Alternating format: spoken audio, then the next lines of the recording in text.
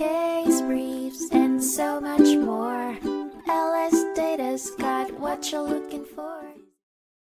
In a landmark 1986 case, Columbia Pictures Industries Inc. v. Aveco Inc., the United States Court of Appeals for the Third Circuit examined whether copyright owners had the exclusive right to perform and authorize public performances of their works and if the first sale doctrine could be used as a defense against infringement claims.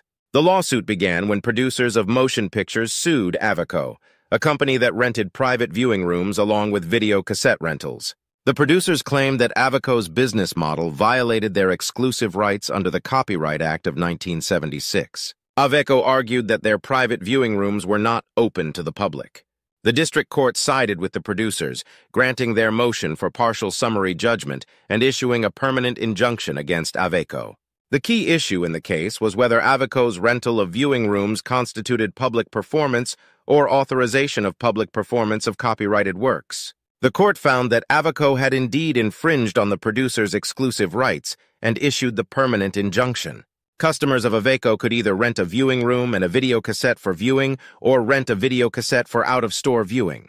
Ultimately, the court held that Aveco's video cassette rentals in public viewing rooms constituted public performances and authorization of the producer's copyrighted movies. Since the first sale doctrine didn't apply to Aveco's rentals of lawfully acquired cassettes, their activities constituted copyright infringement.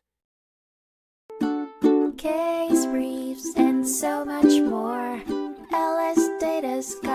LS Data's got what you're looking for. Visit lsd.law, elevate your mind. Leave the stress of class.